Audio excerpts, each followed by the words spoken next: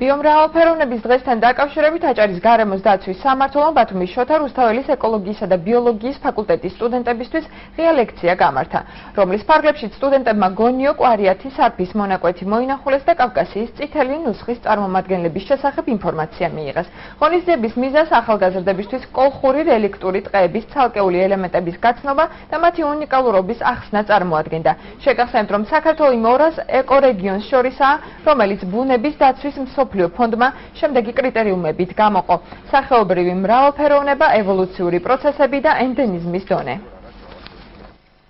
ძალიან პატარაცი 10 მეტრი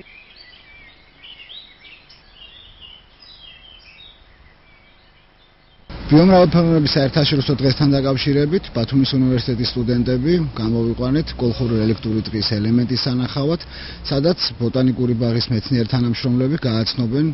შეძლების დაგვარად თითეულ სახეობებს და მის მნიშვნელობას ასევე დაგეგმილი ვიყავს სკოლის ასაკის ბავშვების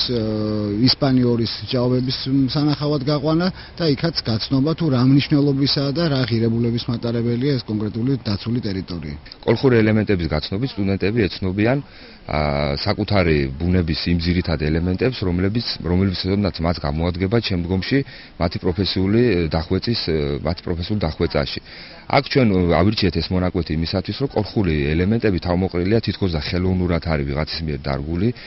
მთელი კოლხური ელემენტები თავმოყრილია ერთად, სტუდენტებისათვის მარტივია მისაწვდომად. გვინდა გავეცნოთ საქართველოს სხვადასხვა ღირსშესანიშნავ ადგილებს